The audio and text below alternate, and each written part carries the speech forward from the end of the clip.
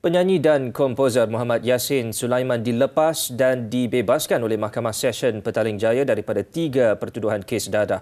Bagaimanapun, Hakim Faiz Ziyaudin memerintahkan Yassin ditempatkan di Hospital Bahagia Ulu Kinta, Perak selama tempoh yang diperkenankan Sultan Selangor.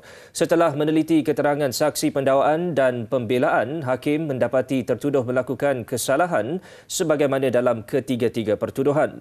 Bagaimanapun, bah, mahkamah memutuskan tertuduh dilepas dan dibebaskan kerana didapati berada dalam keadaan tidak waras walaupun sedar akan perbuatannya. Gejala mania yang dialami tertuduh didakwa menyebabkan kemerosotan kognitif pada tahap teruk hingga tertuduh tidak mampu untuk mengetahui perbuatan itu adalah salah dan bertentangan dari segi undang-undang.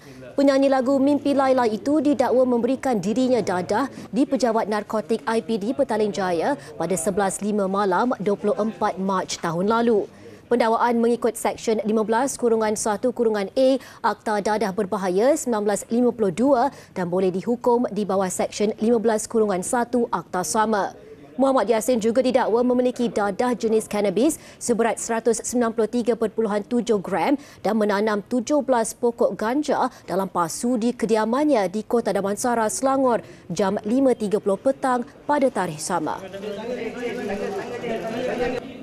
Dalam pada itu, penyanyi yang pernah menyertai kumpulan Nasheed Brothers bersedia menjalani rawatan di Hospital Bahagia Ulu Kinta, Perak seperti yang diarahkan mahkamah.